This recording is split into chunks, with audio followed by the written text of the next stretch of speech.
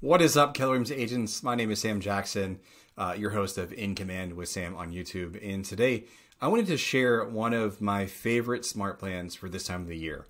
And if you're watching this today, I'm talking about the end of the year, November, December. You can probably even get away with this tactic in January. But I wanted to share with you a smart plan that I've created a couple years ago. I actually started using this as a team leader uh, to go out and get missing contact information for anyone inside of my database. Now, anytime we're recording and we're talking about lead generating, I just want to say make sure that you do this in a do not call registry friendly way or a TCPA friendly way. And now that that's out of the way, um, this is all about making sure that you have the right information so that you can make powerful touches to your database next year.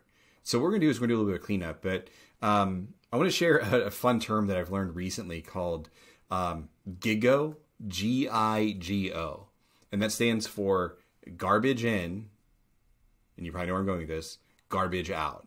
So if you have a bunch of garbage in your database, meaning like I may have a thousand contacts, but I'm missing 500 emails or I'm missing 500 um, cell phone numbers, or the case may be, the goal is how do we get a complete contact record on every single person inside of your database? Now, it's going to be best by making those in one to one conversations. But I'm going to share with you a smart plan today that you can kind of use at the end of the year to get that contact information from anyone who's missing info in your database. So I'm guessing this is something of value that you would like today. Let's dig into it. We're going to jump right into smart plans inside of Command. Now, the goal to not get shut down by YouTube, I'm going to show only fake contact information here. So hopefully we're not, we're not going to get doxxed. Uh, and yet, I'm going to go straight into smart plans. I'm going to share this really cool smart plan with you.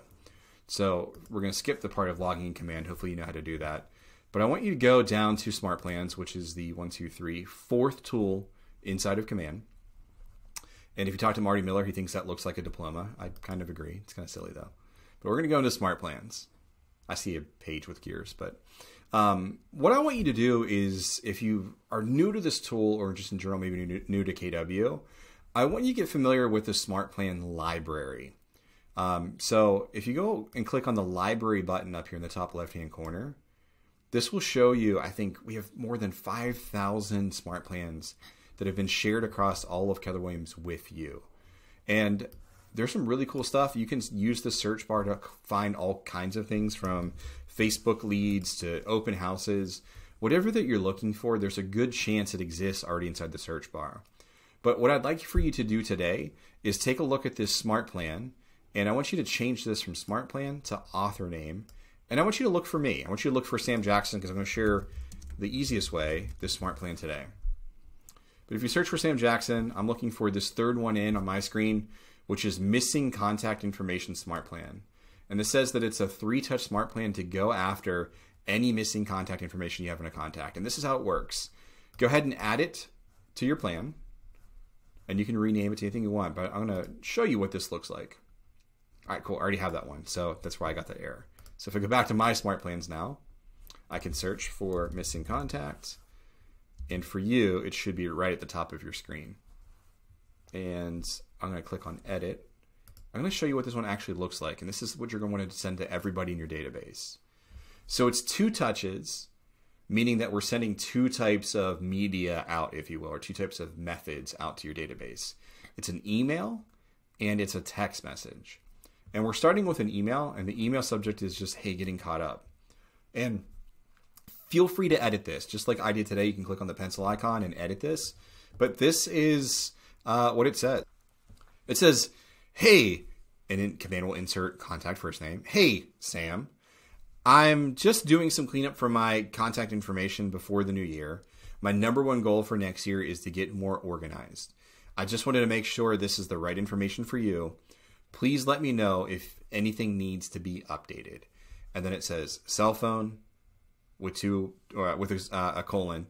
It has an email with a colon and a home address with a colon with the parentheses or um, um, uh, not parentheses, the uh, the brackets that say, um, "I'm so sorry, I can't believe I lost this info," and this is assuming you don't have their home address, because uh, I know that agents that I work with, that's probably one of the pieces of information that we most often don't have on a contact.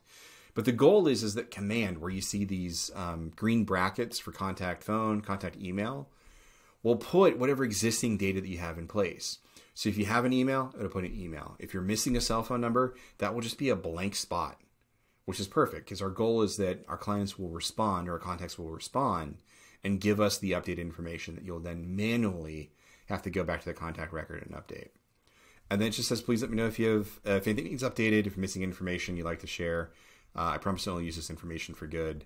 Uh, dash Sam Jackson. Oh, there's a little error there. Good thing we caught that. That should be the last name of your client. And to do that, you just click on, or this should be your last name rather, the merge fields, agent last name, from Keller Williams. And you, again, you can change and put your own market center here. You can put more contact information here, kind of like your full email signature if you'd like. I highly recommend that. Uh, but for the sake of sharing this, this is what we have today. Cool.